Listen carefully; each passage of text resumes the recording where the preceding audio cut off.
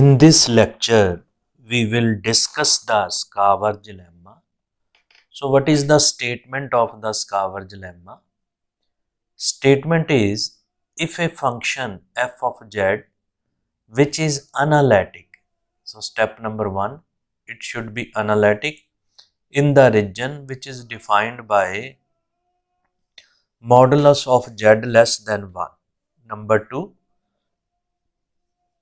modulus of z f of z is less than 1. Number 3, the value of function at the point 0, at the point origin is equal to 0. Then prove that modulus of f of z which is less than equal to modulus of z and f dash z is less than 1. So equality hold only if f of z is a linear transformation of this kind z into e raised to power iota alpha where alpha is the real constant. So this is the three given part and we want to prove these two results and the third result is the result of equality. Now the given function in order to prove this. So in order to prove this result, so proof of the result, I take a circle of center, origin and radius 1 because in the given part, so this is a circle of origin and radius I am taking 1. So this is denoted as C circle modulus of Z equal to 1. So step number 1 is take a circle, take a circle with center origin and radius 1. Now the given function is analytic in a circle with radius modulus of z less than 1. So I will take this is as a r radius where r is less than 1. So this is a c, c is with this origin and r radius. So I take this circle. Now by a given part this function f of z which is analytic analytic in the given circle in the circle C right? Now so we can expand it as a Taylor series. So it implies by Taylor theorem so it implies f of z can be written as this is f of z. This can be written as summation of a n z raised to power n n is running from 0 to infinity where a n is equal to nth derivative at the point 0 over n factorial. So I write it as equation number 1. So this is by Taylor theorem. So Taylor theorem, we expand the function about a origin 0 about a origin O. So this is a Taylor theorem. In this way, we can expand fz in this form. So this is a this fz can be written as this fz can be written as from this it implies f of z. So this is equal to a0 plus a1z plus a2z square plus a3z square and so on up to infinity. So this is my series. Now by the given part, so since by 2 f of 0 is equal to 0, now using this value z equal to 0 in this equation.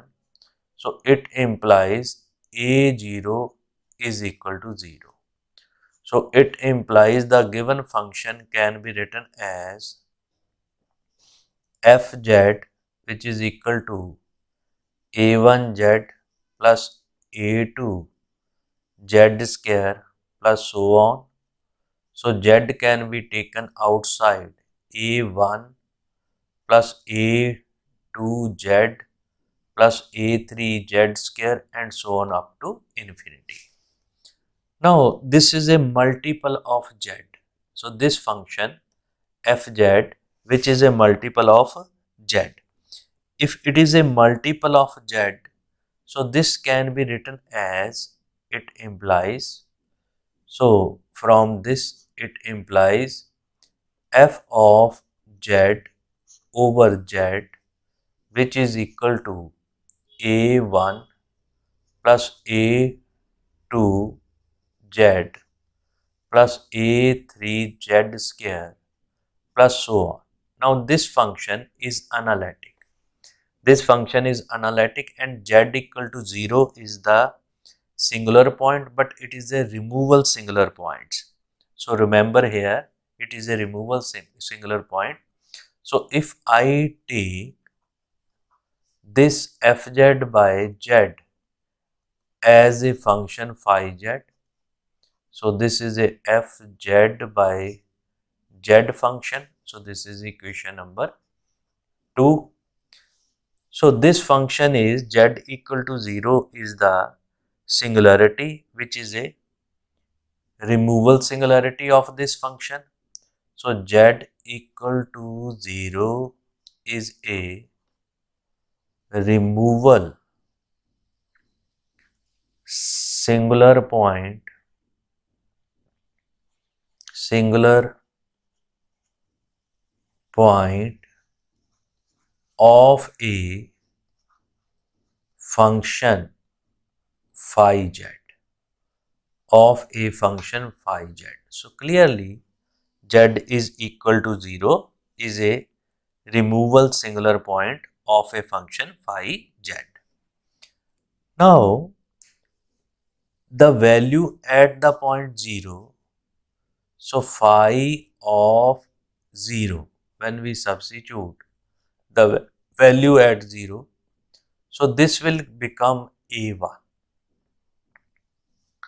so this will become a a1 so from this we find that when z equal to 0 in phi z so what we get a1 is equal to phi of 0 so in this way we can find the value of a1 right. Now by maximum modulus principle, what we get? By maximum modulus principle, modulus of phi z c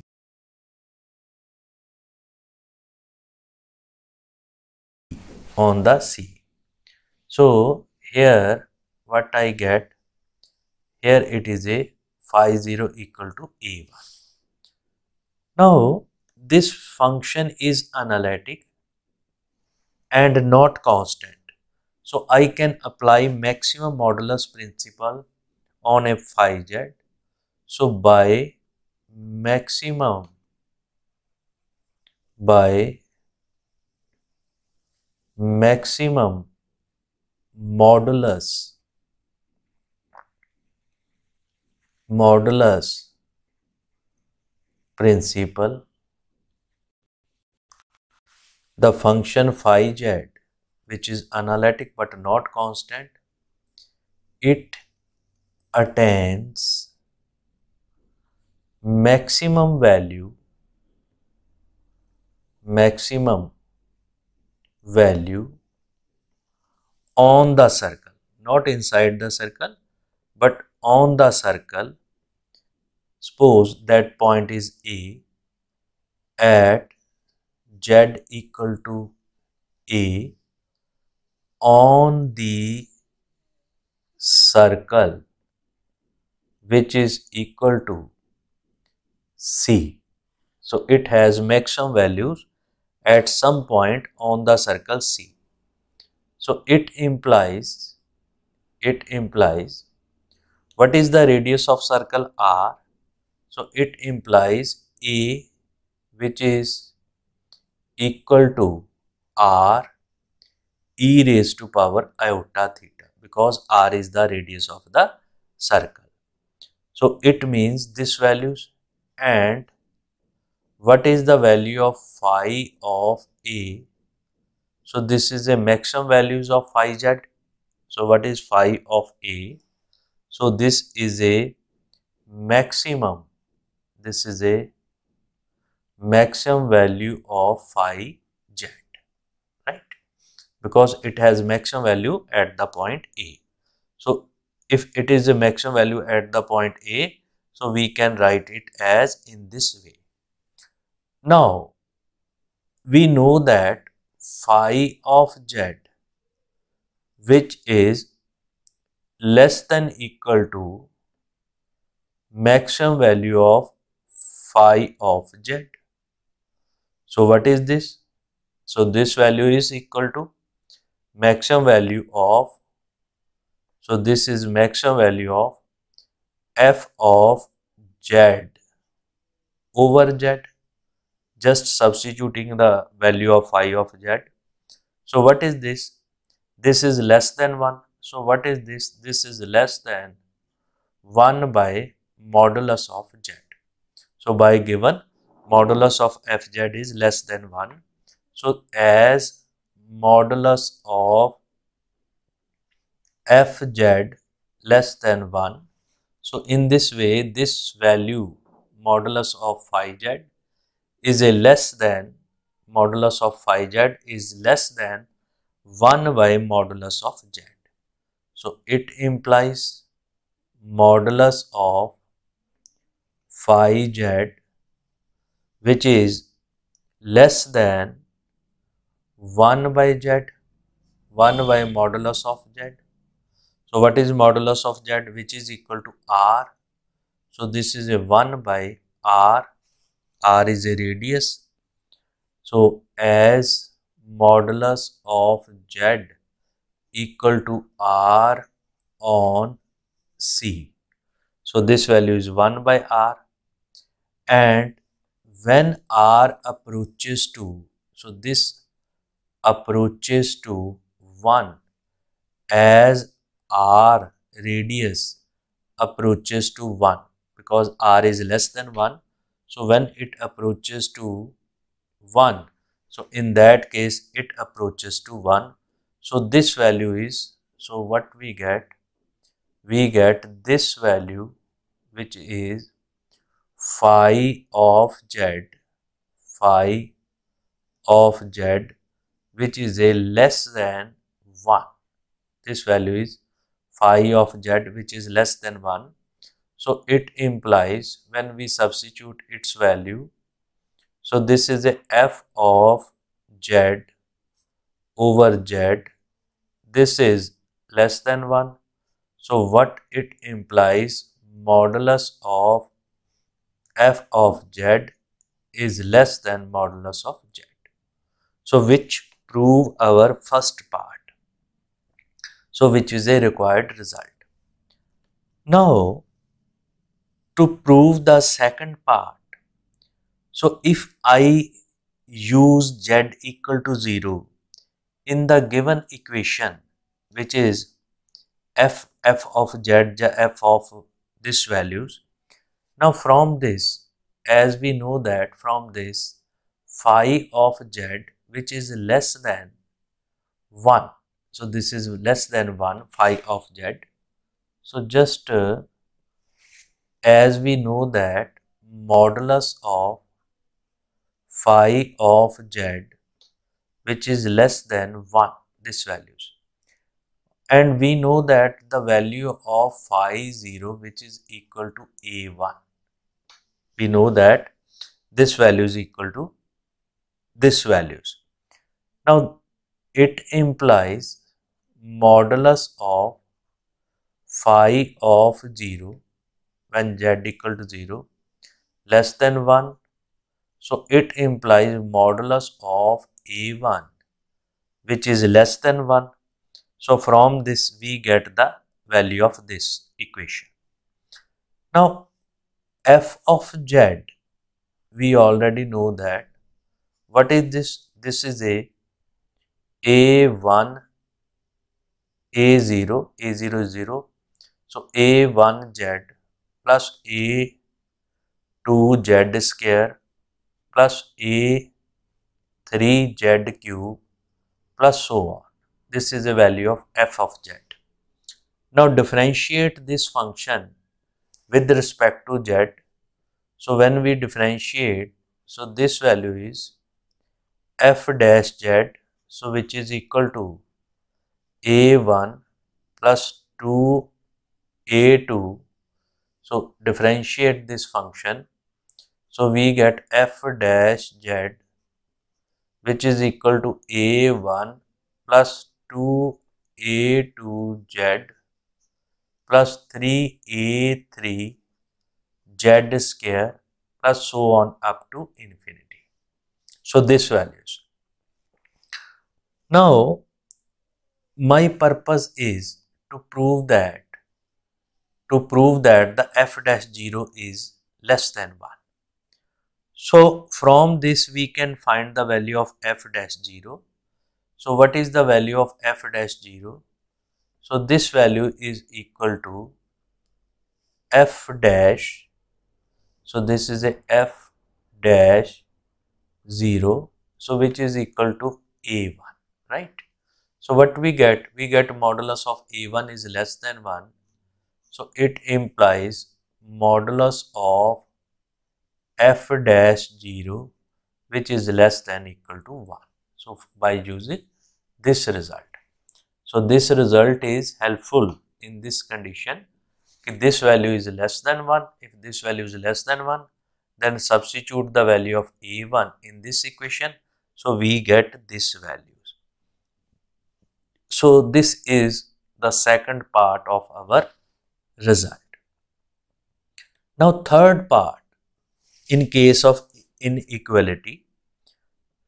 Now since Z is arbitrary, so in general I take since Z is any arbitrary element, arbitrary